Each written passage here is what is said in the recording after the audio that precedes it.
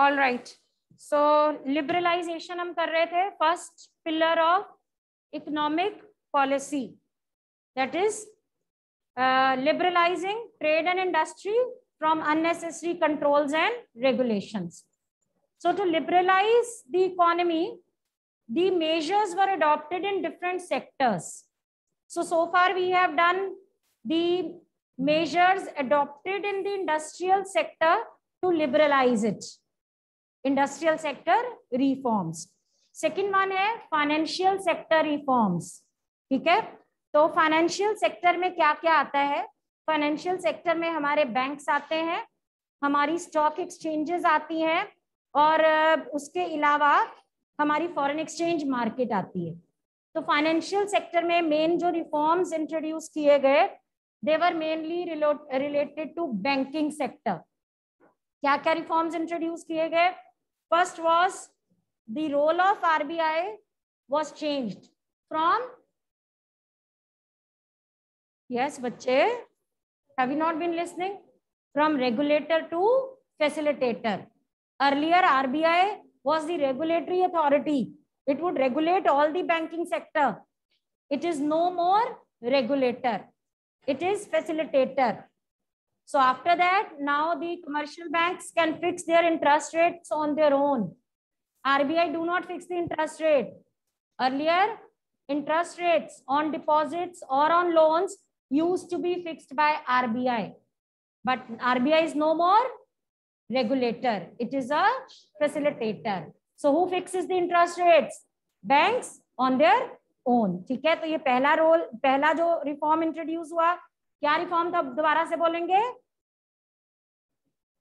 Role of RBI was change from regulator to facilitator secondly establishment of private sector bank now the private sector bank were allowed to operate in the economy then foreign stock market was open up for the foreign investors now the foreign institutional investors like mutual fund pension fund insurance companies, they could buy shares of Indian companies. Yani foreign institutional investment was now allowed in Indian stock exchange. Then national stock exchange was established. पहले सिर्फ़ कौन सी होती थी Bombay stock exchange अब कौन सी establish हो गई नेशनल स्टॉक एक्सचेंज ठीक है और स्टेचुटरी रिकॉग्निशन दे दी गई सेबी को, ठीक है? और इसके अलावा S L R C R R ये जो रेट्स थे, ये भी लोअर डाउन कर दिए गए, ठीक है? उसके बाद बेटे, जो थर्ड कैटेगरी ऑफ़ रिफॉर्म्स थे, वो कौन से थे? Physical reforms physical reforms means reforms in the sector of income and expenditure so expenditure से रिलेटेड तो कुछ खास रिफॉर्म्स नहीं थे. इनकम गवर्नमेंट की इनकम कहाँ से आती है? मेन सोर्स क्या है? टैक्स तो टैक्स रिफॉर्म्स वर इंट्रोड्यूस्ड क्या क्या रिफॉर्म्स इंट्रोड्यूस किए गए? One the tax rate was reduced income tax का जो रेट था वो रिड्यूस कर दिया गया. Earlier highest tax rate was 40 percent now it was reduce to 30 percent उसके अलावा corporate tax that was also reduced from 40% to 30% and now it's been to 25%. इसके अलावा गवर्नमेंट ने ये ऑब्ज़र्व किया कि पीपल इवेड टैक्सेस लोग टैक्स की चोरी करते हैं. To evade tax means tax की चोरी करना. तो इसके पीछे जब एनालाइज किया गया, क्या रीजन निकला कि हमारा जो टैक्सेशन सिस्टम है, वो बहुत ही कॉम्प्लिकेटेड है. तो लोग झंझटों में पढ़ना नहीं चाहते ठीक है? सपोज़ मेरी एक छोटी सी शॉप है, उससे मैं काफ़ी कमा लेती हूँ। मेरी टैक्सेबल इनकम बनती है। पर मैं कहती हूँ, कौन सीए करे, इतना टैक्सेशन मैंने कहा, चलो मैं टैक्स फ़ाइल करती हूँ। मैं टैक्स फ़ाइल करने के लिए मैंने जब देखा तो वो तो इतना कॉम्प्लिकेटेड था। कभी ये डॉक्यूमेंट्स कभी ये डॉक्यूमेंट्स तो मैंने कहा, छोड़ो बरा, मुझे क्या ज़रूरत पड़ी है एक ब्यूटीफुल सिटीजन बनने की? I will be not paying tax so same happened with majority of the people so so, ये जब देखा गया कि इसका कारण क्या है लोग क्यों टैक्स इवेट करते हैं? क्योंकि हमारा टैक्सेशन स्ट्रक्चर कॉम्प्लिकेटेड है। तो इसीलिए उसको सिंप्लीफाई किया गया। This was another reform undertaken then बेटे जो कस्टम्स ड्यूटी थी उसको भी बहुत ज़्यादा रेट रिड्यूस कर दिया गया। अभी जो मैक्सिमम कस्टम ड्यूटी है वो टेन परसेंट है। कस्टम ड्यूटी समझते हो? जब गुड्स बॉर्डर क्रॉस करते हैं तब उनके ऊपर लगाई जाती है, ठीक है? And recently a major reform in taxation structure has taken place can you tell me which one introduction of GST goods and services tax almost all the indirect taxes have been subsumed under GST they have been replaced by GST so GST के करके one tax one market one nation ये फंडा है GST का। ठीक है, इसको आगे जाके डिटेल में पढ़ेंगे, लेकिन अभी के लिए रिफॉर्म्स में हमने इतना ही पढ़ना है। Clear coming to the third fourth type of reform which is external sector reforms external sector में क्या क्या आता है? एक्सटर्नल सेक्टर में हमारा फॉरेन एक्सचेंज आती है, हमारे फॉरेन ट्रेड आता है, हमारी फॉरेन इन्वेस्टमेंट एंड पॉलिसीज़ आती है। Clear external sector means India से बाहर निकल के। तो ऐसी वो कोई भी सेक्टर जिसमें हम इंटरेक्ट करते हैं फॉरेन कंट्रीज़ के साथ वो एक्सटर्नल सेक्टर हो गया। सो so, क्या क्या आ गया इसमें? Foreign exchange foreign trade and foreign investment ठीक है? सो so, इससे रिलेटेड क्या क्या रिफॉर्म्स इंट्रोड्यूस किए? सबसे पहले हम चलते हैं फॉरेन एक्सचेंज रिफॉर्म्स बेटे रुपी को डीवैल्यूएट किया गया। Anyone can you tell me what is the meaning of devaluation Oh, yes. Okay. Do you know what is the meaning of foreign exchange rate? Say one dollar. If you want to buy one dollar, you will have to pay say 72 rupees for it. ये dollar का rate है इन terms of rupees Is a foreign exchange this foreign exchange can be bought for rupees seventy two हम इसका पूरा chapter पढ़ेंगे बेटे foreign exchange rate ठीक है, उससे और भी चीज़ें क्लियर होंगी, लेकिन फिर भी समझना ज़रूरी है।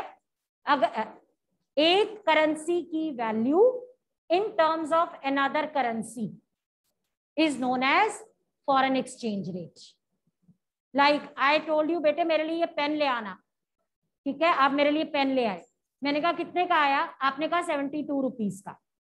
ठीक है? So I paid you one seventy two rupees which one pen costed you you rupees. So, the price of pen is 72 rupees. Same ways मैंने आपको बोला, जाओ मार्केट में से एक डॉलर ले आओ। आप ले आए। ठीक है? मैंने कहा, कितने का आया? आपने कहा सेवेंटी टू रुपीज़ का। So what is this price of dollar in terms of rupees जैसे बेटे किसी भी कमोडिटी का प्राइस होता है, उसी तरह फॉरेन एक्सचेंज का भी प्राइस होता है। उसको कहते हैं foreign exchange rate price of one currency in terms of another currency ठीक है? ये होता है फॉरेन एक्सचेंज रेट अब सपोज़ करो 1990 में डॉलर का प्राइस था फिफ्टी रुपीस। गवर्नमेंट ने क्या किया? डॉलर का प्राइस कर दिया फिफ्टी फाइव रुपीज़ किसकी वैल्यू बढ़ गई? रुपी की वैल्यू कम हो गई? कैसे कम हुई? अगर किसी को नहीं समझ में आया, यहाँ पे एक डॉलर कितने का है? तो अगर मैं पूछू वन रुपी कितने का है? वन बाय फिफ्टी डॉलर का? मतलब अगर मैं आपको एक रुपया देती हूँ कि मेरे लिए जाओ डॉलर लेके आओ तो आप डॉलर का पचासवा हिस्सा लेके आओगे मेरे लिए? है ना? अब क्या हुआ? एक डॉलर कितने का हो गया? फिफ्टी फाइव रुपीज़ का। और रुपी कितने का हो गया? One by fifty five dollar? यानी अगर मैं आप, अब आपको एक रुपया दू तो आप मेरे लिए क्या लेके आओगे? कितना डॉलर? डॉलर का फिफ्टी फिफ्थ हिस्सा वो इससे ज़्यादा होगा या इससे कम? इससे कम? यानी रुपी की वैल्यू क्या हो गई? कम हो गई। बेटे, अगर एक करेंसी की वैल्यू बढ़ती है तो दूसरे की कम होती है। यहाँ पे डॉलर की वैल्यू बढ़ा दी गवर्नमेंट ने यानी रुपी की वैल्यू कम कर दी। इसको कहते हैं devaluation lowering the value of one currency in terms of another currency by the government ऐसा क्यों किया होगा गवर्नमेंट ने एनीवन अपने रुपये की वैल्यू कम कर दी। कोई करता है ऐसे?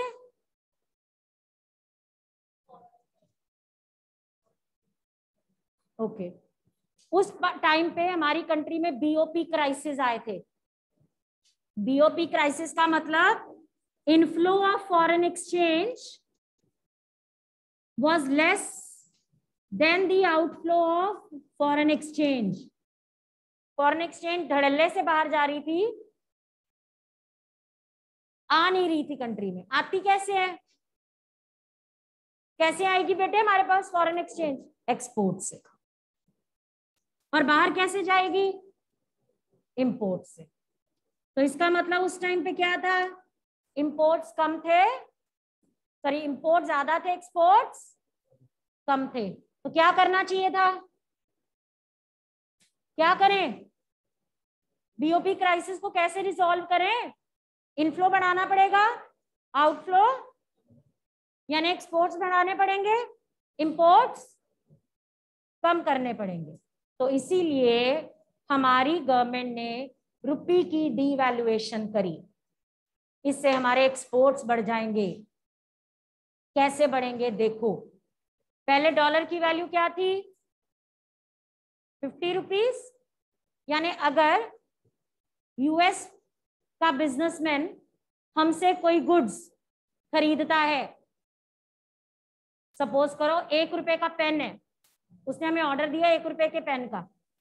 ठीक है? उसने हमें एक डॉलर भेजा। हम मार्केट में गए। डॉलर के कितने पैसे मिले? पचास रुपए? हम उसको कितने पेन भेजेंगे? पेन एक रुपए का है।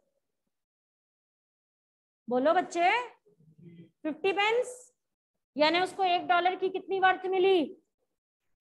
फिफ्टी रुपीज़ के बराबर? तो उसको हमने पचास पेन भेज दिए, ठीक है? अब जब गवर्नमेंट ने ऐसे कर दिया, उसने हमें फिर से ऑर्डर दिया, एक डॉलर भेज दिया। उसने कहा, एक डॉलर के जितने पेन आते हैं, मेरे को भेज दो। हम मार्केट में गए डॉलर को बेचा, कितने पैसे आए? कितने पेन आएँगे फिफ्टी फाइव के? बोलो बच्चे सिंपल से क्वेश्चन का तो आंसर दे दो। फिफ्टी फाइव पेन आएँगे। पहले उसको एक डॉलर की वर्थ कितनी मिल रही थी? फिफ्टी पेन्स अब कितनी मिल रही है? आप उसकी जगह होगे तो क्या करोगे? ज़्यादा ऑर्डर करोगे? क्यों? आपकी परचेजिंग पावर बढ़ गई। तो जब गवर्नमेंट ने रुपी की डीवैल्यूएशन करी, यानी ऑटोमेटिकली डॉलर की वैल्यू बढ़ गई डॉलर की परचेजिंग पावर बढ़ गई तो उनके लिए इंडिया से इंपोर्ट करना चीपर हो गया। वो इंडिया को इंपोर्ट का ऑर्डर ज़्यादा देंगे, यानी इंडिया के एक्सपोर्ट्स बढ़ जाएँगे। कम क्यों होंगे? इंडिया बेच रही है तो ज़्यादा ऑर्डर जाएँगे तो हमारी फॉरेन एक्सचेंज का इनफ्लो बढ़ जाएगा या नहीं? गवर्नमेंट अभी आजकल नहीं होती, बता दूँगी आगे। इट्स जस्ट इट जब फॉरेन एक्सचेंज रेट गवर्नमेंट के हाथों में है गवर्नमेंट कंट्रोल कर सकती है तो गवर्नमेंट ने ये वैल्यू फिक्स की हुई थी, अब गवर्नमेंट ने ये कर दी। ठीक है? दूसरी बात, जब डॉलर एक फिफ्टी रुपीज़ का था, जब आप गुड्स इंपोर्ट करते थे, आपको डॉलर खरीदना पड़ता था। मैंने आपको बोला, एक डॉलर ले आओ। आप मेरे से कितने पैसे मांगोगे? फिफ्टी मैंने एक डॉलर के गुड्स इंपोर्ट कर लिए ठीक है? फिर मेरा कंसाइनमेंट आया, मैंने कहा, ठीक रहा, चलो मैं फिर से गुड्स इंपोर्ट करती हूँ। मैंने आपको फिर से बोला, जाओ, एक डॉलर ले आओ। मैंने इंपोर्टर को भेजने अपने। अब आप मार्केट में गए? अब बताओ, कितने का आएगा?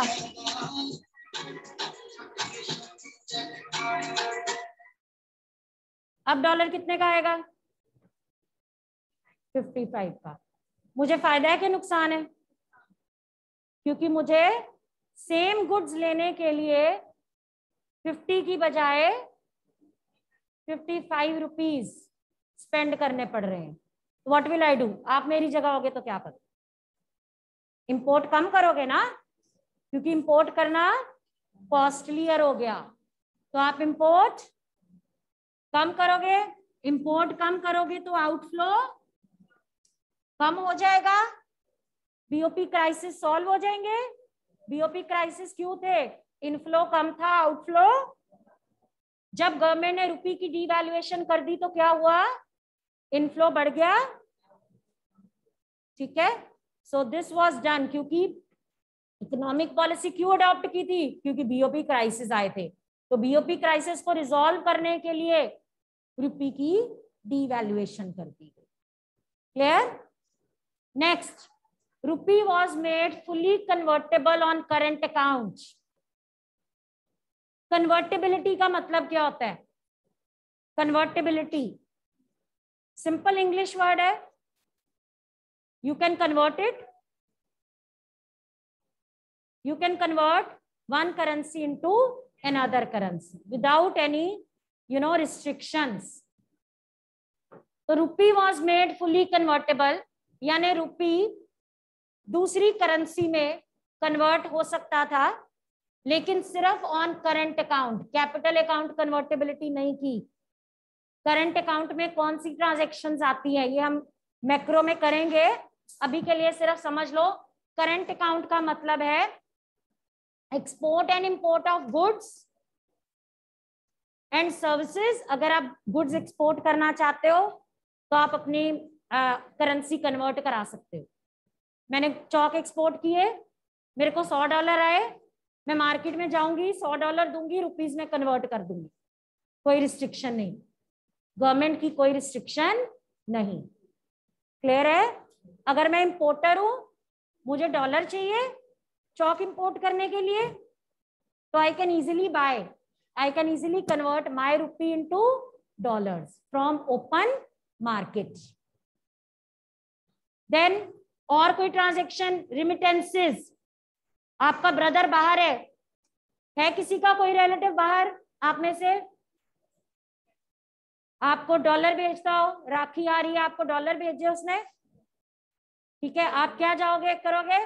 मार्केट में जाओगे डॉलर को रुपी में कन्वर्ट कर लो। सो रिमिटेंसेस करंट अकाउंट में आते हैं।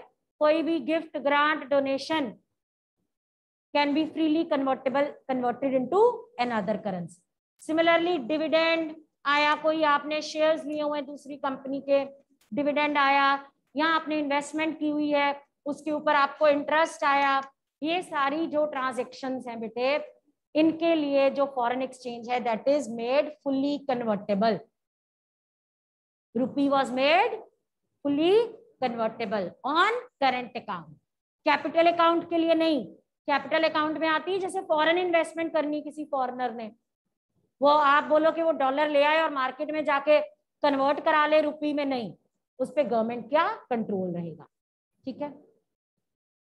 देन बेटे exchange value of rupee rupee की जो एक्सचेंज वैल्यू है, यानी एक डॉलर पचास का बिकेगा या एक डॉलर फिफ्टी फाइव का बिकेगा। That was now allowed to be fixed by market forces earlier government के कंट्रोल में होती थी। अब मार्केट फोर्सेस पे छोड़ दिया। आज आप देखते हो डॉलर की वैल्यू डेली फ्लक्चुएट करती है। क्यों करती है? कभी सोचा? ये मार्केट फोर्सेस के ऊपर डिपेंडेंट है। It is dependent upon market forces अगर ये डॉलर का डिमांड कव है, ये डॉलर का सप्लाई कव है, ये रेट फिक्स हो गया। अगर डॉलर डिमांड बढ़ जाएगी, सप्लाई सेम रहेगी तो ये रेट फिक्स होगा। डेली फ्लक्चुएशंस आती हैं। तो ये कब से होना शुरू हुआ? 1991 के बाद। Exchange value of rupee was left to the market forces हाँ गवर्नमेंट इसमें इंटरवीन कर सकती थी in case of extreme fluctuation suppose करो डॉलर की वैल्यू 90 आ गई। तो फिर गवर्नमेंट इंटरवीन करेगी। Then there was an act ये बहुत ध्यान से बेटे एमसीक्यूज के लिए ऐसे क्वेश्चंस बहुत इंपॉर्टेंट होते हैं। There was an act foreign exchange regulation act it was changed to foreign exchange management act full form likh lo fera to fema this act was passed in the year 1973 it was replaced by a more liberal act foreign exchange management act in the year 1999 नाम से कुछ पता चल रहा है this act aimed at regulating the foreign exchange regulation ये क्या करता है उसको मैनेज करता है FERA 1973 FEMA 1999 which act replaced FERA FEMA which one of them is more liberal FEMA it was aimed at restricting foreign exchange it is aimed at managing foreign exchange which act was replaced by uh, sorry which act replaced mrtp act? जब मैं बता दूँ बस तभी answer आना है। Previous नहीं आना। एनीवन एमआरटीपी एक्ट को कौन से एक्ट ने रिप्लेस किया?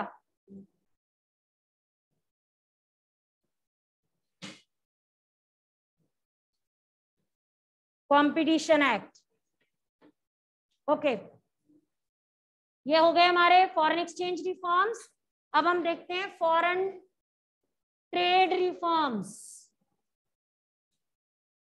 foreign trade बेटे, आपको पता है 1947 के बाद जब हमें आज़ादी मिली we were quite afraid yes we were under you know this thing कि अगर हम फॉरेनर्स को आने देंगे तो फिर से वो हमारे ऊपर रूल करना शुरू कर देंगे। तो इसीलिए हमने ट्रेड जो था उसके ऊपर बहुत ज़्यादा रिस्ट्रिक्शंस लगा दी थी। तो अभी क्या किया हमने 1991 में, जो क्वांटिटेटिव रिस्ट्रिक्शंस थी इंपोर्ट्स के ऊपर इनको रिमूव कर दिया। लिफ्ट कर दिया। पहली बात क्वांटिटेटिव रिस्ट्रिक्शन क्या होती है?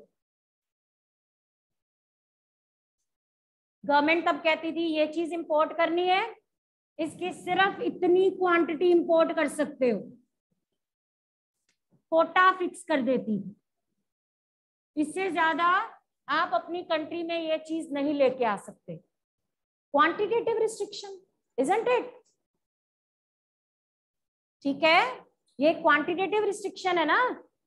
क्या आप अपनी कंट्री में इस चीज़ को इतना इंपोर्ट कर सकते हो, इससे ज़्यादा इसको इंपोर्ट नहीं कर सकते। क्यों किया था गवर्नमेंट ने ऐसा?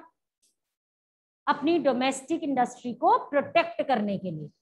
कि अगर इंपोर्टेड गुड्स ज़्यादा आ जाते इंडिया में तो लोग इंपोर्टेड गुड्स खरीदते डोमेस्टिक इंडस्ट्री डिस्ट्रॉय हो जाती इजेंट इट तो अभी हमने क्या किया? हमने क्या रिफॉर्म अंडरटेक किया? हमने क्वांटिटेटिव रिस्ट्रिक्शंस को रिमूव कर दिया। 2001 में हुआ ये। ठीक है? फिर जो ट्रेड टैरिफ बैरियर्स थे in form of custom duty that was also reduced. हमने टैरिफ बैरियर लगाए हुए थे। मतलब हमने कहा, ठीक है, ये इंडिया है, ये दूसरी कंट्री है गुड्स आ जाए, हमें कोई नहीं। आने दो। लेकिन जब गुड्स यहाँ बॉर्डर तक पहुँचते थे तो हम सौ रुपए के गुड के ऊपर चालीस रुपए टैक्स लगा देते तो ये गुड आके कितने का बिकेगा? 140 का। यानी ये हाईली प्राइस हो जाएगा। ऑटोमेटिकली इसका प्राइस इसकी मार्केट इंडिया में कम हो जाएगी। तो इसीलिए लोग भेजते ही नहीं थे इंडिया में। ठीक है? ऐसे बैरियर ये बैरियर हुआ ना एक। इट्स अ बैरियर कोई हमने दीवार नहीं खड़ी कर दी? इनविजिबल बैरियर है ये। ड्यूटी लगा दी, और वो भी हाई रेट ऑफ़ ड्यूटी अभी हमें लगा नहीं कंट्री को कंपटीशन की ज़रूरत है। तो हमने क्या किया? टैरिफ बैरियर को रिड्यूस कर दिया। किस फॉर्म में थे barrier customs duty so custom duty जो थी, वो इंपोर्ट ड्यूटी 300 परसेंट हुआ करती थी। यानी सौ रुपए की चीज़ चार सौ रुपए की बिकती थी। हमने उसको 150 परसेंट कर दिया further it has been reduced ठीक है? फिर एबॉलिशन ऑफ़ इंपोर्ट लाइसेंसिंग सब बुक में आपको। पहले आपको गुड्स को इंपोर्ट करने के लिए लाइसेंस लेने की ज़रूरत पड़ती उसके लिए भी जो इम्पोर्टर था, वो कहता था, अरे, कौन चक्रों में पड़े? पहले लाइसेंस करो, ये करो। तो कोई बहुत ही यू नो ऐसा पर्सन जिसके पास ज़्यादा मीन्स है या ज़्यादा स्टाफ है, वही इम्पोर्टर बन सकता था। ठीक है? तो अभी गवर्नमेंट ने क्या किया? इम्पोर्ट लाइसेंसिंग को एबॉलिश कर दिया। अब सिर्फ़ कुछ गुड्स इस कैटेगरी में है, जो कि इन्वायरमेंट फ्रेंड से रिलेटेड है। ठीक है? ऐसे गुड्स जो कि इन्वायरमेंट फ्रेंडली नहीं है, या ऐसे गुड्स जो कि हैजडस हैं उनको इंपोर्ट करने के लिए लाइसेंस लेने की ज़रूरत है। Otherwise import licensing has been abolished ठीक है? And if you remember 1956 policy में हमारा फोकस था इंपोर्ट सब्सटीट्यूशन के ऊपर। Do you remember inward looking trade policy थी।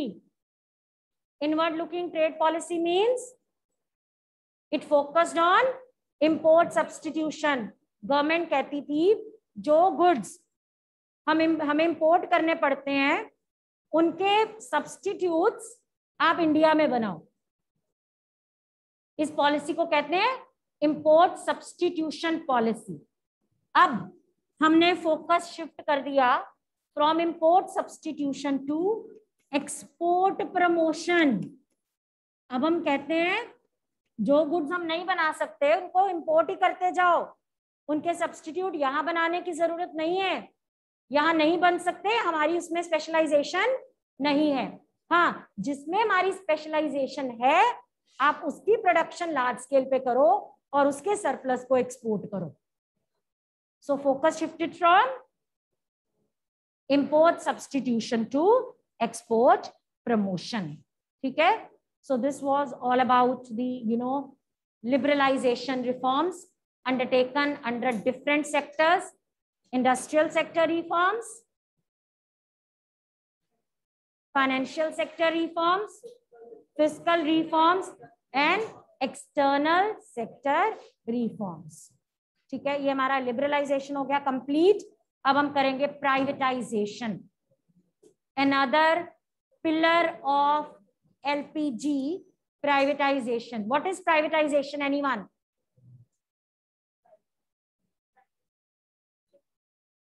so it it implies gradual shift from public sector to private sector ठीक है gradual shift of ownership of assets from public sector to Private sector. जो हमारी बेटे IPR 1956 थी, उसने primary role industrial development को किसको दिया था? पब्लिक सेक्टर को। Private sector was to play only secondary role लेकिन 91 तक आते हमें ये पता चल गया, ये पॉलिसी फेल हो रही है। कैसे पता चला? Public sector was under losses चलो rest we will do tomorrow